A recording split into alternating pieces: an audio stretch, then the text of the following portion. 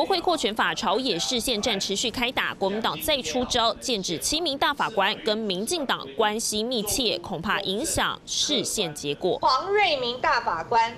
他的妻子就是著名的尤美女钱立伟，林明熙的论文，他的指导教授就是许忠立，许忠立应该在这次的视线案里面申请回避。什么时候要回避，什么时候不要回避啊？宪法诉讼法。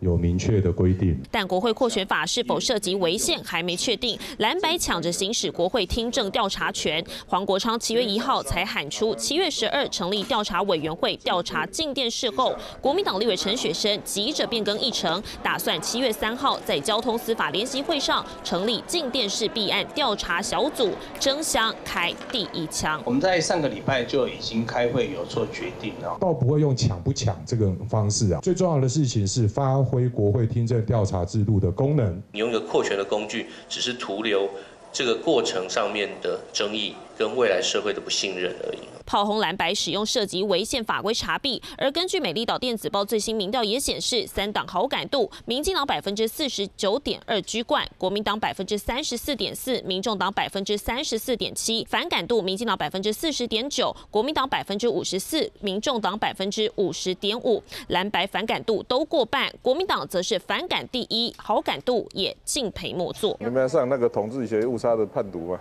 所以你觉得是误差范围？没有了，那那个都很少了。国会扩权法争议加上罢免案未歇，人民怒吼都反映在民调上头。三立新闻黄成木、lâm 军小组台报道。